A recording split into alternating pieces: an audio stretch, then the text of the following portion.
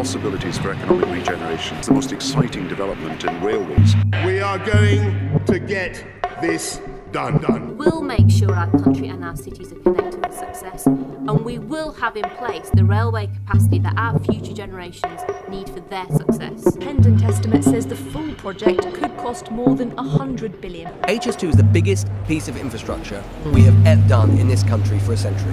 We're being told now the northern leg of high speed rail, which is the line linking Birmingham to Manchester, is going to be scrapped. I am cancelling the rest of the HS2 project.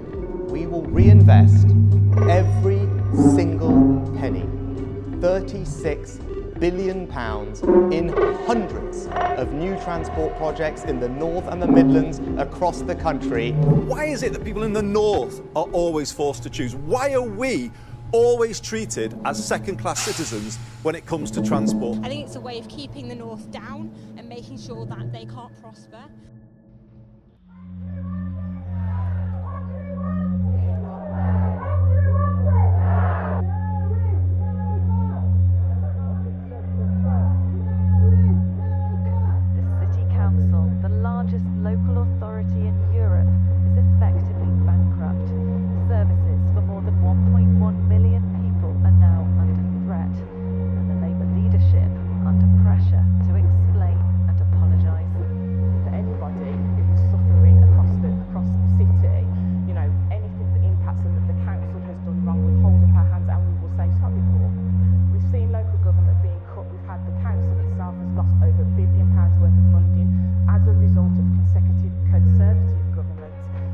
ongoing. It's not just unique to Birmingham.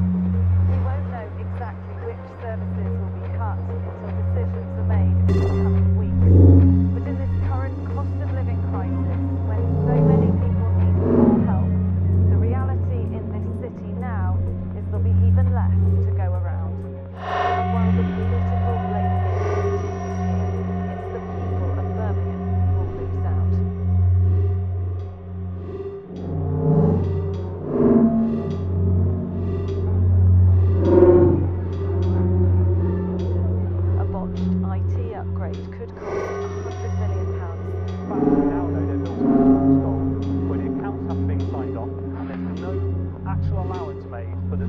It's not the first council to announce that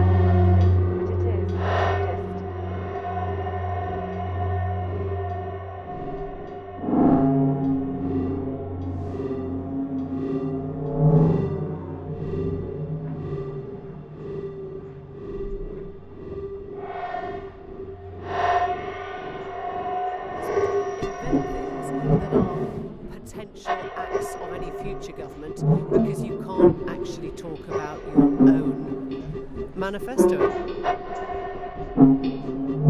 10,000 tonnes of concrete. Sounds about right. 45 to 55 billion pounds. No, wait, 150 minute walk from New Street. Then a clandestine, but costly, hour to arrive, six miles outside of London. Transfer to transfer to transfer of hands. Nothing is ever finished in this country over a decade of empty excuses. For what? For our future? Vietnam, that's the first time the American public actually saw what our justified wars looked like. The American government pulled out of Vietnam because we spoke up. Everyone can see what's happening in Palestine. You've seen the forced expulsion, the wrecked homes, schools, hospitals, the dead toddlers, the dead children in the arms of their screaming parents. And what do we do? Post about it, send a few dollars if we're able. In the meantime, the same tax dollars that were used to stop Nazis and pay for your houses are now being used to fund this Holocaust, while most of my generation won't even get to own a house. Your government listened to you, but now you're the government, and you won't listen to us. There's no way for us to act, and people who do act, they're still fined, arrested, physically beaten.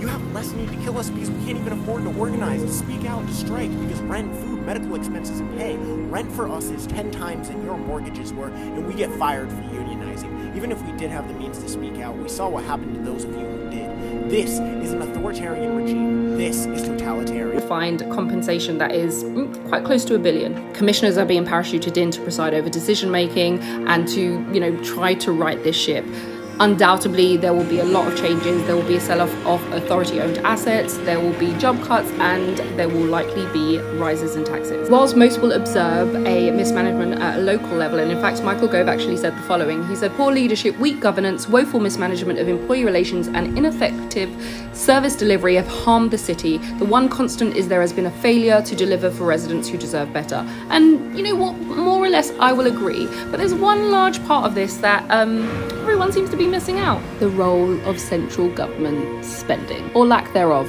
Between 2010 and 2021, ministers more than halved grants for local authorities in real terms. So, councils did introduce cuts and efficiencies and also raise taxes to try to recover some of those losses, but in real terms, spending still, spending power rather, still fell by about 25%. And whilst we can obviously point at mismanagement, there are many well run councils that are also saying that they are looking to run out of money very, very soon. Many of those that are issuing warnings now have actually run out of services that they can actually cut. One of the big issues is that funding for local government is actually very badly matched to local needs. So, one of the biggest costs that um, councils are struggling with are social services and children's services.